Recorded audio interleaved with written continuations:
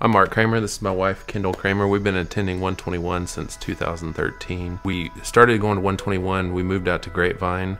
Uh, wanted to be a part of a church and get plugged in and become a part of the community. So started researching churches here in Grapevine and came across 121. Uh, watched a couple of the sermons online and decided we wanted to check it out. Shortly after we started attending, we invited my brother and sister in law to come with us. And then my parents moved to Grapevine a little while later, and they were looking for a church in the area and started coming since we all were. And they've been attending ever since as well. I lead the 10th grade girls life group with two other women who are just phenomenal. Mark's jumped in, he's part of the worship team. I guess it was two years after we'd been at uh, 121, we heard about the International Justice Mission Global Prayer Gathering.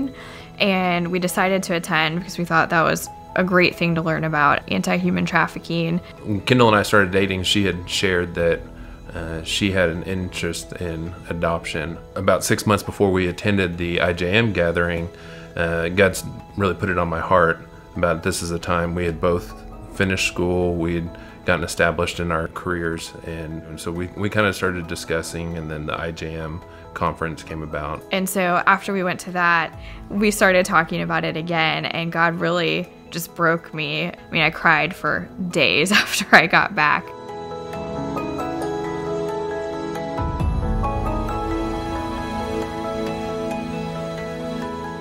So we knew that God was really calling us to international adoption when we talked about it, we both had the same thought. Just we wanted to go somewhere where the gospel wouldn't be heard easily. Um, we wanted to be able to share that with a child.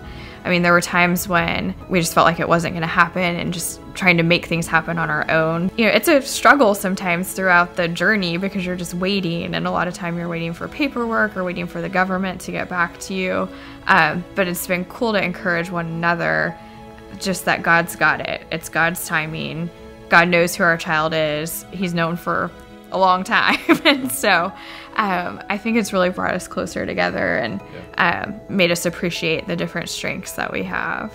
We had been what's called logged in in China since October. And so after that, it's just kind of a waiting game.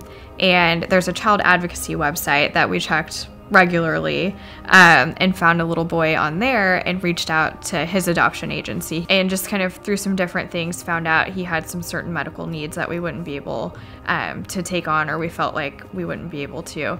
But what was neat is they reached out to us and said well we have another little boy. Would you be interested in learning more about him?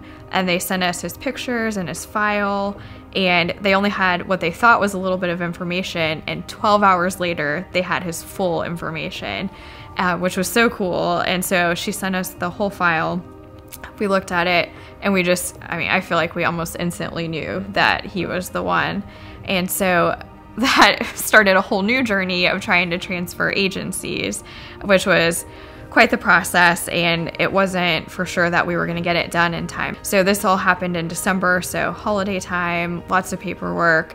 Uh, we sent everything to China. Everything went so smoothly, and on December 21st, we found out that he was going to be our son, and it was the best Christmas present we could have asked for. And we were just overjoyed and just thankful for God's grace in that and for giving us patience throughout that whole process. When we found out about Oliver, uh, it was really neat to go and tell everybody in the worship team and uh, student ministry and uh, with my accountability group, and they've kind of been along in the journey with us. So it was really neat to share that excitement with them, and it was just it was awesome. Everybody prayed for us, and uh, and was just over overjoyed and all that paperwork working out.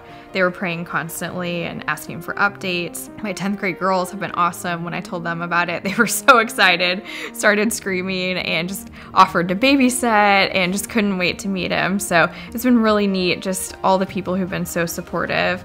There's families at 121 who've adopted and who've been just so excited for us. And uh, when they found out the news, it just immediately invited us over for dinner and celebrated with us and just have been so helpful just in prayer and um, just material things that they could pass along to us to help um, with Oliver. Just everything has been so wonderful. God just gave us such a peace about it and really um, just opened all the right doors to make it happen. And our hearts are just, we know that that's our child.